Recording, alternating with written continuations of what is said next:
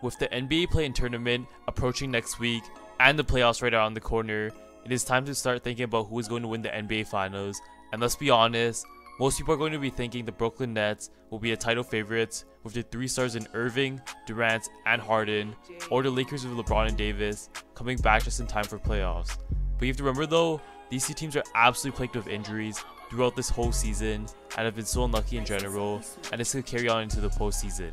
Basically, what I'm saying is, it is correct these are two major title favorites, but you guys should really watch out for the Clippers, since everyone has been sleeping on them, and here's my bold take of why the Clippers can make a deep run into the playoffs this year, and here's why. What's going on YouTube? It's your boy C3, back with a lit video, cause you know I only drop the best content out here. Hope everyone out there is enjoying their week, and thanks for tuning in to the weekly video. Before we start it though, please consider hitting the like and subscribe button if you're still unsubscribed or new here since it takes me a while to edit these videos, and as a result, every subscriber really helps out a lot, especially when we are so close to 1000. I appreciate it if you hit both buttons, and other than that, let's get straight into today's video. Now you guys might be thinking that I must be crazy seeing that the Clippers have a legitimate chance of making a deep playoff run, especially with the Clippers playoff curse still going on where they've yet to make a Western Conference Finals appearance. And this is a bold take by me, but please just hear me out first before jumping straight into the comment section.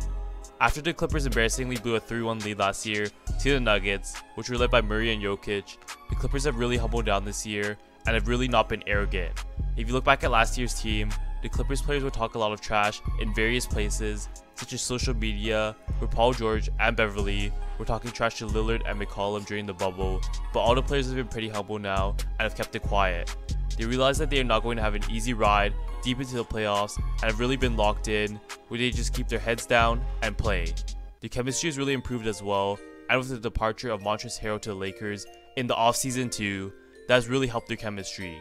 According to numerous reports, George and Harrell never got along, and in Game 7 against the Nuggets last year, they got in an extremely heated argument where they were blaming each other. As a result, this is the first major reason of how the Clippers are different to last year's team, since their chemistry has improved and they've really been humble, which are two important factors to a championship contender. The second reason why the Clippers are even better than last year is how deep the roster is now, and let's start off with what additions they've made over the course of the season. In this 2021 season, the Clippers have added Nicolas Batum, Serge Ibaka, Rajon Rondo, DeMarcus Cousins, and Luke Kennard, who are the major names of the free agents that they added. But let's start off with the most important one in my opinion, which is Rajon Rondo. The Clippers have been searching for a point guard facilitator for so long now, since their guards in Beverley and Jackson just aren't good playmakers, where Jackson focuses on scoring and Beverley focuses on defense and shutting down opposing guards, but they have found their missing piece now in Rondo. Although Rondo doesn't score much, where he's only averaging 7.6 points a game with the Clippers, he really makes plays for the Clippers and directs traffic well if you watch the Clippers games. He's a true leader on the court and brings such a huge energy where he is extremely vocal to his teammates. Along with that, Rondo has so much experience as a veteran and was a major reason in why the Lakers won the championship last year. To further prove how much impact Rondo brings to the Clippers is after the Clippers acquired him, they went on to win so many more games where they won 8 straight games at one point, which really shows his impact.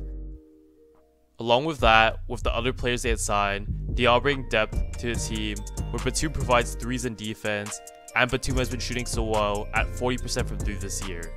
Cousins has provided paint protection and some offense on an extremely cheap contract, and Ibaka has finally returned from his back injury, where he's just another solid center for the Clippers, and basically does everything on the court, and they have Kennard off the bench as well, who has not been playing that well this year, but still shooting 46% from 3. As a result, these signings have really made the Clippers strong, with the departure of Lou Williams and Montrezl Harrell, and makes them a very solid overall team compared to the roster last year.